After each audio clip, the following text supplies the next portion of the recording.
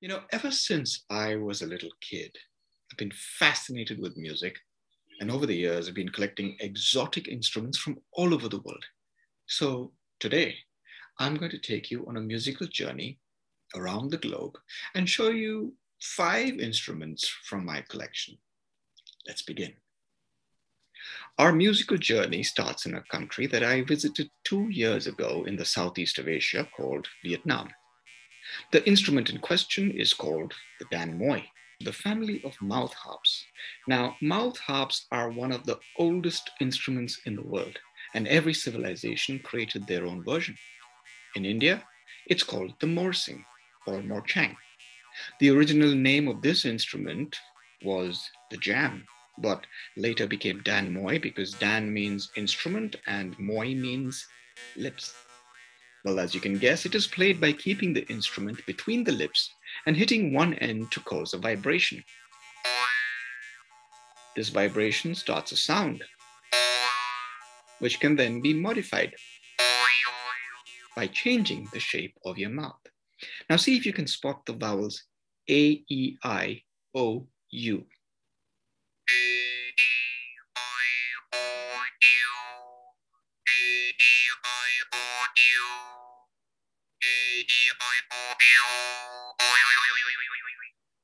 Moving westwards and northwards, we come to the land of ballet, Russia. The instrument that I got from there is very interesting. Inspired by the hang drum, the Rav Vast was created by Andrei Remyanikov in 2013. It has a hypnotic, meditative sound, which is produced by hitting parts of the instrument with your hand. Now, because of its flying saucer shape, some people call it the UFO drum. Now, each instrument is tuned to a certain scale, and the best part of playing this instrument is that it never goes out of tune, and you can never hit a wrong note.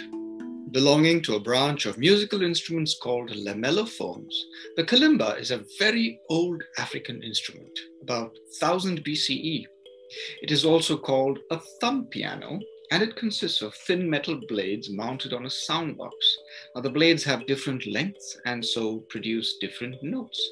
To play this instrument, you hold it between your hands and you use both thumbs to strike the metal blades. The sound of the kalimba is fairy like and harmonic.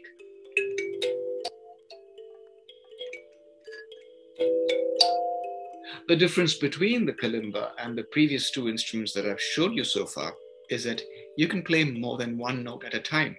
Now see if you can spot that.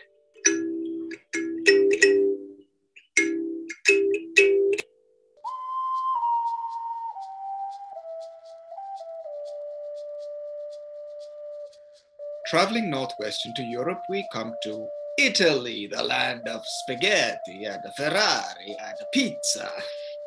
This instrument is called the ocarina, and translated into English, it means little goose. But it's also called the sweet potato. Uh, it is a wind instrument that has 10 holes and it is played by uncovering the holes with your fingers.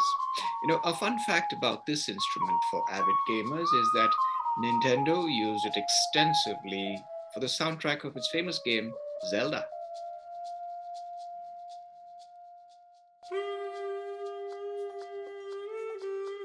Finally, after crossing the Atlantic and the Pacific Oceans, we come to the Polynesian islands of Hawaii, and specifically the island of Maui. Well, not him. It was here that a man called Brian Wittman cut up some bamboo growing behind his house and attached a saxophone mouthpiece to it. And he created a crossover instrument that looked like a flute, had a saxophone mouthpiece, and sounded like a clarinet.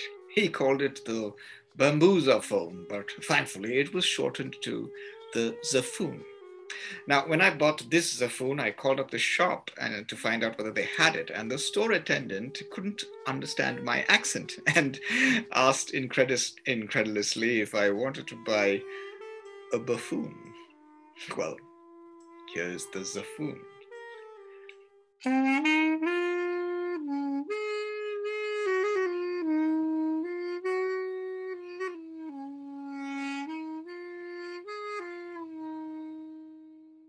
So there you go. Thank you for joining me in a short trip into the world of exotic instruments that you rarely ever see. It was a pleasure to make this video for all of you, and I hope someday one of you may find some other quirky instrument yet undiscovered in some remote corner of this world. And remember that if you do, be sure to make a video on it and share it with your friends. Thank you and adios.